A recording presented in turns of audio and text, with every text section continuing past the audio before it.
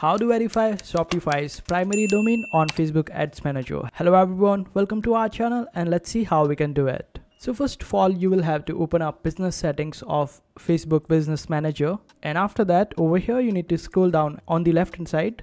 And here under the brand safety and suitability, you will find the option of domains. Just click on it. After that, you need to click on this option of add and then click on this option of create a new domain. Now it will ask you to add your domain over here. Just add your Shopify's primary domain over here. Just paste it and click on add.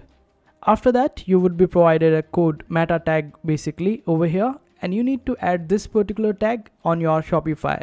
So what you have to do is just click on it and it will be copied. After that, you need to open up your Shopify and under your Shopify, you will be able to find this option of online store. Just click on it, then click on this option of themes and since I'm on a trial period that's why it's not showing for me. But for you you will be able to see the option of actions. Just click on it.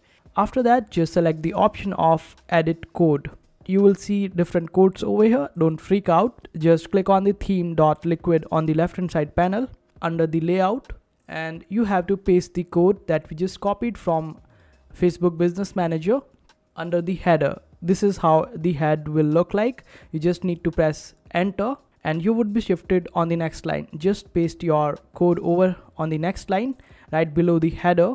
And after that all you have to do is just get back to Facebook Business Manager and click on verify domain. And this way you would be able to verify your domain.